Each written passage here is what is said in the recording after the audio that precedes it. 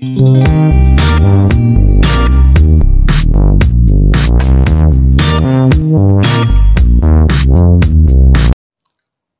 teman-teman menonton video ini, jangan lupa di subscribe dan aktifkan notifikasi loncengnya ya. Assalamualaikum warahmatullahi wabarakatuh Hai guys, welcome back to my channel Kawan Koki bersama gua Awan Darmawan Oke guys, pada kesempatan kali ini gua ingin berbagi tips yaitu tata cara menggunakan heater.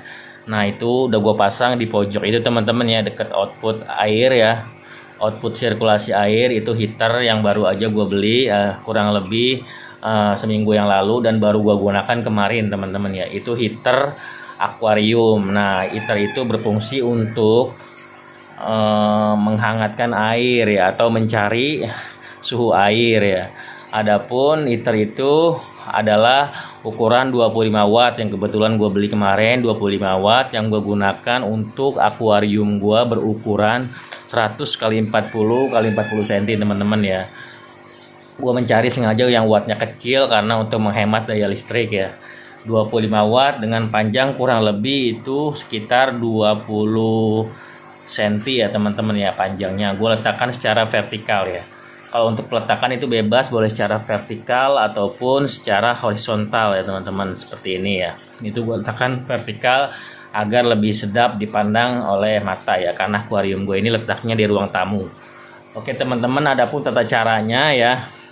Yang pertama-tama kita harus uh, men-set ya di suhu berapa yang kita inginkan. Kebetulan untuk mas koki suhu normalnya adalah 30 derajat ya dan itu gue set di 30 derajat teman-teman ya. Untuk settingnya sendiri ada di bagian atas ya berwarna biru. Nanti akan gue dekatkan kameranya teman-teman ya. Nah,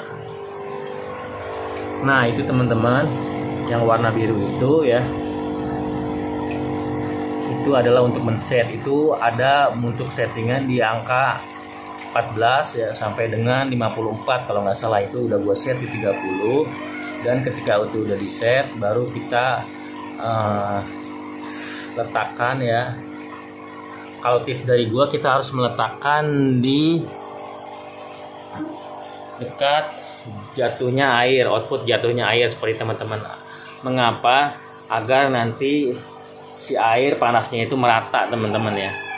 Karena itu nanti akan didorong oleh sirkulasi output air dan akan lari ke pompa sirkulasi. Jadi letakkan heater di suhu di tempat yang kira-kira si air bisa merata teman-teman ya dan itu langkah pertama adalah di set ya di setting di suhu yang kita inginkan ya yang kedua baru kita letakkan di tempat yang yang sekiranya aman dan air panasnya bisa merata ya teman-teman ya. Dan yang ketiga untuk sanction cup sanction cup itu adalah dop ya. Dopnya ada dua ya. Dopnya itu diletakkan di bagian atas teman-teman ya. Sebisa mungkin dopnya itu diletakkan di bagian atas. Biasanya kalau untuk pembelian kita mendapatkan dua dop atau sanction cup. Nah ini gue letakkan di atas dua-duanya teman-teman. Mengapa? Karena kalau diletakkan di bawah biasanya itu bisa meleleh ya si sanction cup itu atau dudukan itu karena berbahan karet ya. Sedangkan heater adalah bahannya stainless ya besi stainless ya. Dan dia khawatirnya akan meleleh jika diletakkan di bawah ya. Biasanya kalau untuk lampu ataupun uh, properti akuarium lain biasanya kan atas bawah ya teman-teman. Cuma kalau untuk heater jangan sekali-kali diletakkan di bawah ya. Agar si air tidak agar si sunset cup tidak meleleh ya itu sangat fatal ya teman-teman. Makanya untuk dua-duanya letakkan di atas ya teman-teman ya. Dan apabila sudah di set kemudian diletakkan di tempat yang kira-kira memang e, bagus ya untuk penyebaran panas air barulah si heater itu kita colokkan ya teman-teman. Ini sudah gue colokkan. Nah mulai kemarin sore eh mulai kemarin siang itu jam 1 gua colokkan dan untuk akuarium dengan ukuran 100 kali 40 cm itu baru mencapai suhu yang gue inginkan sekitar pukul sekitar pukul 7 ya teman-teman ya 7 malam ya. Berarti untuk mencapai suhu yang diinginkan itu memerlukan waktu sekitar dari jam 1 ke jam 7 itu sekitar 6 jam ya teman-teman ya. Untuk akuarium 100 kali 40 cm ya. Dengan heater yang berkapasitas 25 watt. Tapi itu juga tergantung daerahnya teman-teman ya. Kalau memang cuaca di daerah teman-teman itu sedang sering terjadi perubahan panas hujan panas hujan itu mungkin bisa berubah ya. Waktunya itu bisa berubah tidak enam jam bahkan bisa lebih ya. Ataupun bisa lebih cepat ya. Jadi tergantung suhu di daerah teman-teman juga ya.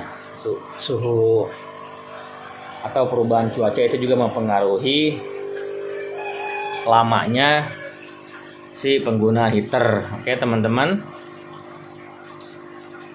Biasanya ketika di setting itu kemudian dicolokkan si lampu itu menyala teman-teman ya. Kalau teman-teman belinya yang merek Sogo seperti itu ya. Gue merek gue merek Sogo dia ada lampu di sininya teman-teman. Nah seperti sekarang ya pagi hari ya suhunya sudah tidak seperti yang gue inginkan. Ya ini lampunya menyala teman-teman. Ini lampu di sini menyala. Ya merah ya. Kalau di kalau dilihat secara langsung itu sangat terlihat. Cuman kalau untuk kamera dia memang agak sulit untuk melihatnya. Nah itu suhunya merah ya. Berarti dia sedang memanaskan ya. Jika lampunya lampu semerah itu menyala berarti dia sedang proses pemanaskan apabila sudah mencapai suhu yang diinginkan atau suhu yang disetting dia lampunya akan mati. Begitu cara kerjanya teman-teman ya. Oke. Dan sekarang ikan-ikan gua terlihat lebih segar ya setelah menggunakan heater karena beberapa minggu terakhir di daerah gua cuacanya cukup ekstrim ya. Panas hujan panas hujan dan mengakibatkan si ikan itu menjadi pendiam ya karena suhunya mungkin ya. Kalau kedinginan juga si ikan bisa bulukan ya. Dan setelah menggunakan heater dan setelah dapat semalam ya suhunya ini sekarang ikan gue sudah terlihat agak lincah dan segar. Itulah manfaatnya heater ya teman-teman. Untuk memanaskan air Uh, bang, apakah heater itu selalu berfungsi uh, dicolokkan 24 jam? Untuk pengguna heater itu memang selalu dicolokkan 24 jam. Apabila suhunya tidak sesuai, maka si heater otomatis akan menyala. Tapi untuk daya dia hanya akan memakan daya ketika si lampu indikatornya menyala ya teman-teman. Dia akan memakan daya. Cuman kalau indikatornya mati dia tidak akan memakan daya. Jangan khawatir untuk eh, takutnya pemakaiannya boros listrik itu tidak ya teman-teman ya. Karena dia hanya bekerja ketika si heater menyala ya. Oke teman-teman mungkin itu aja video yang bisa gue share kali ini ya tata cara menggunakan heater ya. Semoga video ini bermanfaat khususnya bagi para pemula yang baru menggunakan heater akuarium ini ya karena setiap penghobi pasti membutuhkan suatu saat akan membutuhkan heater ini ya. Kebetulan gue di sini pelihara ikan mas koki ikan-ikan hias yang lain. Setahu gue juga menggunakan heater seperti arwana, diskus ataupun lohan ya. Oke teman-teman mungkin itu aja video yang bisa gue share kali ini. Semoga bermanfaat. Apabila ada pertanyaan silahkan ketik di kolom komentar. Apa ada apabila ada waktu pasti gue jawab ya.